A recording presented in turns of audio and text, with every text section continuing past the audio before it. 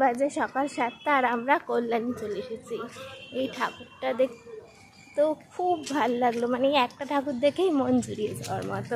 তো চলো তোমরাও দেখে নাও।